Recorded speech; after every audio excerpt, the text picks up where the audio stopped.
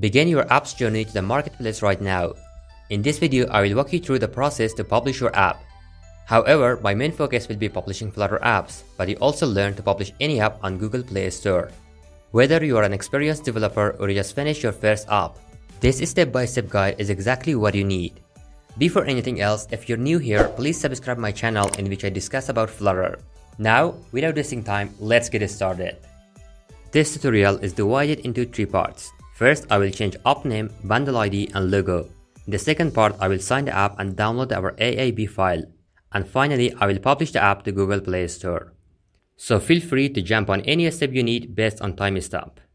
We will use this documentation as reference which I will put the link in the description below and I will go through with you step by step to publish our app in Google Play Store.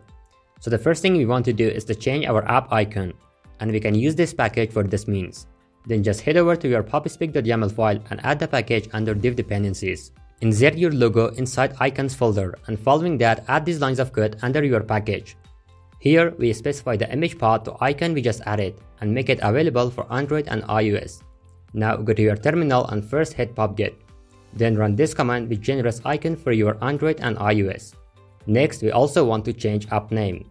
And for doing it head over to your Android manifest file Find Android label under application tag and here change your app name to whatever you want. As the last step here, I need to change my app bundle name. So open your app level build.gradle. Inside default config, change application ID to your particular domain. Now that I run the project, you can see that our app logo and also app name has been changed. This brings us to the completion of the first step, so let's move on to the second one. Now we need to sign our application and for doing it, copy these lines right here. Open your Android folder and create a file called key.properties and paste everything here. Create a random password and then copy and paste it for the second field as well. Now we have to create our upload key store. You need to use one of these two commands based on your operating system. For me, I copied a command for the Windows inside CMD, pasted right there. Now it asks for a password, which we use the password we just created moments ago. Then just re-enter it one more time. Here insert your full name and hit enter for the rest prompts. At the end, type yes, enter again, and now your upload keystore file is downloaded. Find the file in the given location and then upload it inside your app folder. Now inside the story file you need to add the location of the keystore file, which in this case it is inside app folder. Scroll down documentation till configuring signing in Gradle. Here we need to add these lines of code inside our app level build.gradle. So just copy it and inside build.gradle find Android. Above Android block, paste all the lines. Remove unnecessary Android part and indent it to the beginning of the page. Again, scroll down to the signing configs and copy all of them. Find build types block, make sure to select it completely and paste the new lines. Basically, we do this to make our app ready for release. Open terminal and write flutter build app bundle release and hit enter. It won't take long and your release app will be ready. Find the app you just built and leave this page open in the background because we will upload this AAB file in the Play Store in some moments. Open Google Play Console from this page. Go to Play Console and sign in with your Google account. If you don't have any developer account, just hit the second button to create a new one. Choose the type of account you want to create, which in my case I choose myself. Then hit continue. Here write your developer name, which I can just use my name, and hit next. Then it needs a payment profile for verification, which you can create a new profile for it. However, as I have a developer account already, I won't go further, but you can complete all the steps here and create your first developer account. I choose my current account, and this is homepage of your Google Play console. Click on Create App. Specify your app name, which for me it is a counter app. Choose your default language. Then we choose it is an app and not a game. Also choose whether your app is free or paid, which in my case it is free. Finally, accept developer program policies and US export laws and create the app. Now scroll down to Store Presence tab and click on the main store listing. Here you need to provide some basic information about your app, so make sure to write a short description and also a full description. Then I need to upload my app icon which I have already created. I just drag and drop it right here. Keep in mind app icons need to be 520 to 520 pixel.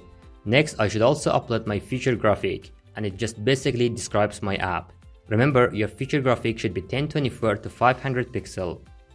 Here you can upload up to 80 screenshots which show all features and everything about your app. I will upload these two screenshots for my app. Remember, you should upload at least two. You can also upload some more images for specific devices and also a video to describe your app visually. But for now, I'm okay with this and hit save. Then go to store settings. Hit edit and choose a category for your app. I choose business and hit save. Next, add some tags for your application which allow users to find your app easily. Then in the next part, I need to provide some information about myself.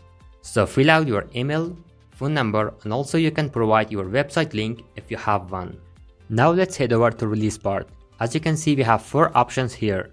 I can release in open, close, or internal testing, which all of them allow you to test your app before publishing. But I'm going to release my app in production, which make it available in public inside Play Store. Click on create new release. Tap on choose signing key and I will use Google generated key.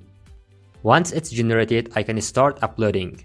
So find your app and drag and drop it right here. It will take a while for app to be uploaded, and once it's done, these fields are filled out automatically. Here you can write a particular release note, which then will display to users. When everything is done, hit next. Now we have all these errors which should be solved one by one. So let's go to app content at the bottom. Here we need to answer a bunch of questions to make our app complete for release.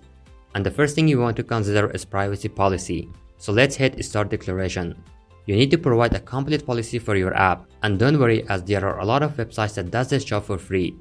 This is one of the privacy policy generator sites which I will put the link in description below. You just need to give a few information about yourself and also your app and then it will generate a full privacy policy for you. Once it's generated, you need somewhere as host for it. It can be a website or in my case, I will use my GitHub account. Sign in with your GitHub and create a new repository. Inside repository, create a new file called privacy policy and paste all generated text into it.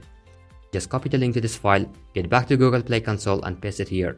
Now save the file and get back to app content. Next, I need to declare ads about my app and I will just choose that my app does not contain any ad. Again, get back to the app content. The next one is app access and you should answer if your app has some restrictions or in my case, all features in my app is fully available and again make sure to save the file. The next one is content rating and here first of all you need to provide your email address. And then you also need to choose a category. Hit next. Then they want to just ask some yes or no questions from us and then basically just want to get some extra information from our app and you just need to answer it with yes or no. The first one is about violence, blood or gore images and I'm gonna say no, my app is not containing any of this kind. The next one is fear, which again I'm gonna say no, sexuality, no, gambling themes, no, language, no, controlled substance, crude humor, and then the final one is miscellaneous, which it will ask you a bunch of questions and I will say no to all of them. Finally, save the file and hit next. Then you can just read all this information it provides you and again save the file. Get back to the app content and the next I need to talk about target audience and content and it basically wants to know that what is the target ages of our app which I'm gonna just choose 18 and over and also 16 to 17 years old. So make sure to choose your target ages and then hit next. So the next it asks us that can our app store listing and intentionally appealing to children which I'm gonna just say no. Again hit next and save the file. The next one is news app. So I just want to know that whether our app is a news app, which in my case that's not true.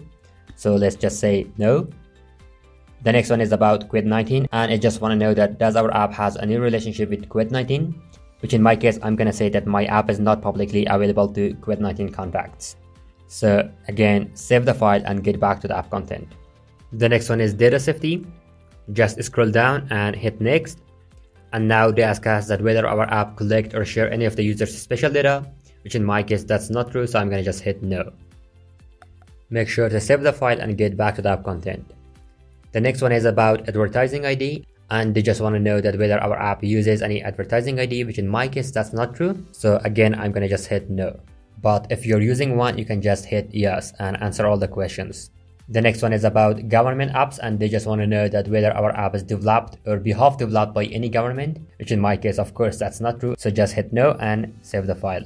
And finally, the last question is about financial features and they just want to know that whether our app contains any financial features, which in my case, it's not true. So I'm going to just say that my app is not containing any financial feature. But in your case, if you're doing that, just make sure to select one from the list. Again, save the file and get back to the app content.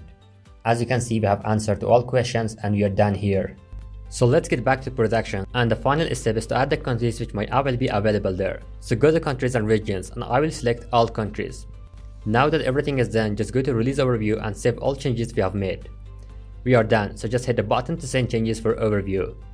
Normally it takes 1 or 2 days for Google Play to review the app and if there is no problem, it will be published.